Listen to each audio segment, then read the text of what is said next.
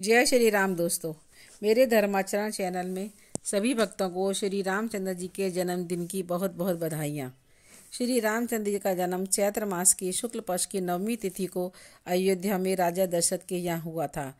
रामनवमी के बारे में अलग अलग मान्यताएँ हैं।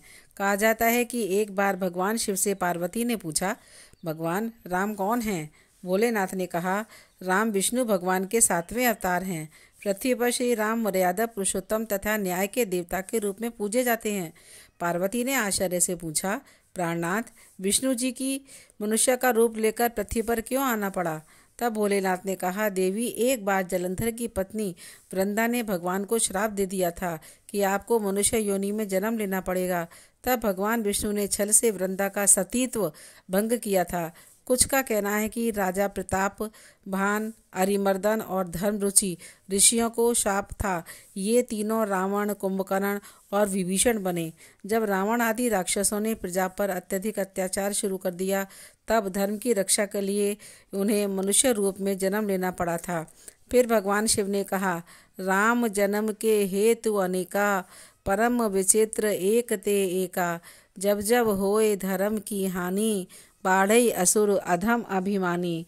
तर प्रभु धरी विविध शरीरा, हरे कृपा निधि सज्जन पीरा। यही राम के अवतार का कारण है। इस दिन राम दरबार की तस्वीर पर गंगा जल छिड़क कर रोली चावल से तिलक कर फूल समर्पित करें। उन्हें हला हलवा चना पूड़ी का भोग लगाएँ। राम रक्षा स्रोत का पाठ हो करें, रामचरित मानस का पाठ करें। इस दिन भगवान राम और सीता की सालगिरह बड़े ही धूमधाम से मनाई जाती है। मंदिरों को खूब सजाया जाता है।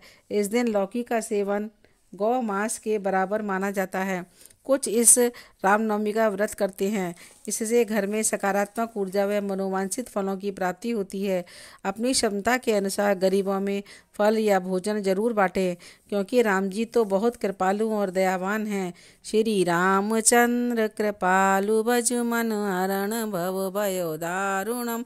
नव कंज लोचन कंज मुख कर कंज पद कंजारुणम। राम स्तुति का पाठ करें। यदि आपको मेरी वीडियो अच्छी लगी हो तो कमेंट बॉक्स में जय श्री राम ज़रूर लिखें तथा सब्सक्राइब करके बेल बटन को प्रेस ज़रूर करें। सनातन धर्म की जय।